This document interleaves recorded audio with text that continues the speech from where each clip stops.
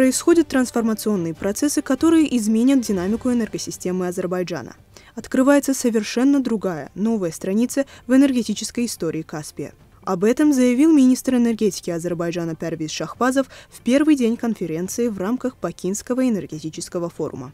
По словам министра, через два дня в Шуше будет подписано новое соглашение по крупномасштабным зеленым энергетическим проектам. Он отметил, что центр тяжести в трансформации Азербайджана в страну зеленого роста лежит на Карабахе, Восточном Зангизуре, как зеленой энергетической зоне, полностью основанной на использовании возобновляемых источников энергии и Каспийском море с ветроэнергетическим потенциалом в 157 гигаватт. Эти геостратегически значимые пространства станут источником экспорта зеленой энергетики Азербайджана. Первиш Шахбазов также рассказал о новых коммуникациях, запланированных через Зенгизурский коридор Черное море в качестве экспортных маршрутов. Азербайджан станет страной, которая расширяет свое энергетическое партнерство с соседними странами и Европой по многим альтернативным источникам, благодаря экспорту газа, зеленой энергии и чистого водорода.